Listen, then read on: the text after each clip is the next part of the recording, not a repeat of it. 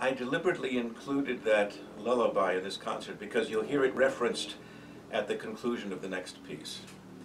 But first I'm going to sing you a melody my father wrote to a poem by Lord Byron. Uh, Byron always also gives a little explan explanatory note that I'll read at the end. Dad used to sing this to me when I was sick and on my request he sang it a number of times in memory of my mother, including just one week before he died.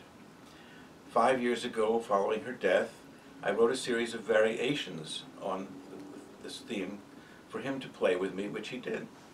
And after I sing you his tune, Dan will play it with me. So here's the tune.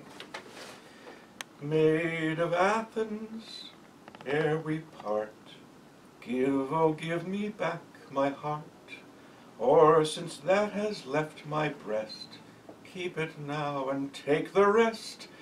Hear my vow before I go, Zoe mou sas agapo. By those tresses unconfined, wooed by each Aegean wind, by those lids whose jetty fringe kiss thy soft cheeks' blooming tinge, by those wild eyes like the roe, Zoe mou sas agapo. Maid of Athens, I am gone. Think of me sweet when alone. Though I fly to Istanbul, Athens holds my heart and soul. Can I cease to love thee? No. Zoe mou sas. Zoe Musa a Romaic expression of tenderness.